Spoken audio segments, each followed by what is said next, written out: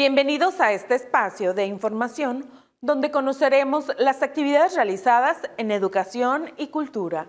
Soy Rocío Velázquez y aquí damos inicio. Se lleva a cabo cierre de implementación del programa Escuelas para la Transformación. En ceremonia realizada en la Escuela Secundaria General número 7 José María González Hermosillo, se llevó a cabo la presentación de resultados del citado programa en 25 planteles de los municipios de Guaymas, Empalme, Poblado Miguel Alemán, Bahía de Quino, Punta Chueca, San Miguel de Orcasitas y Hermosillo.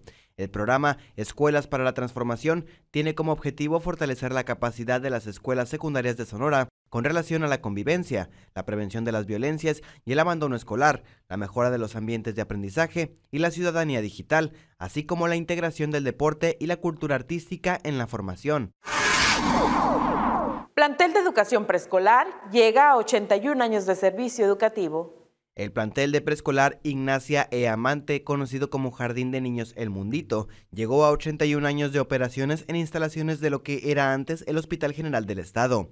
El emblemático plantel, que inició actividades en el año 1942, enclavado en medio de un parque con un único globo terráqueo en el estado y una de las primeras fuentes de agua conocida como de los Zapitos, concentra una población estudiantil de prácticamente todos los puntos de Hermosillo una charla temática, una exposición de pintura escolar y una presentación musical por parte de la Orquesta de Jubilados y Pensionados fueron parte de las actividades de celebración por este aniversario.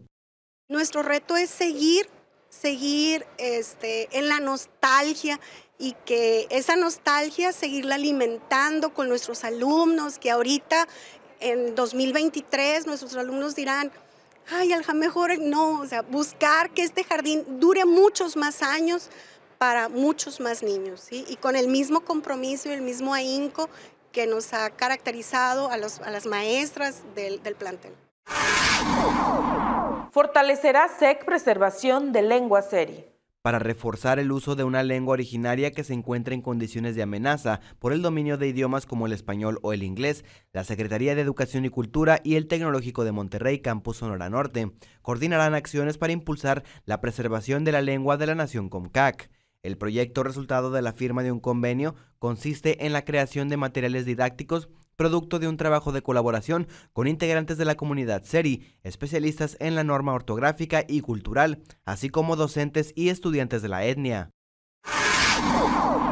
Presentan cartelera de artistas y eventos de la edición 39 del FAOT 2024.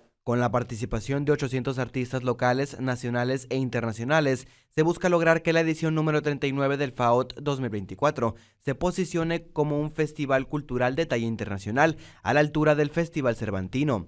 El Festival Alfonso Ortiz Tirado se realizará del 19 al 27 de enero en Álamos y contará con Guanajuato y Estados Unidos como estado y país invitado respectivamente para esta edición. Del total de artistas participantes en esta ocasión, alrededor de 650 son sonorenses, de los cuales 119 pertenecen a pueblos originarios. Por su parte, 87 son del resto del país y 13 extranjeros.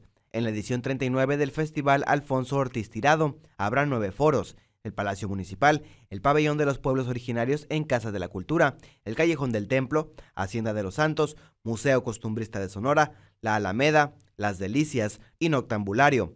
Además de los foros, habrá talleres en escuelas y espectáculos en las calles de Álamo. Y así llegamos al final de este resumen informativo de las actividades realizadas en educación y cultura. Soy Rocío Velázquez.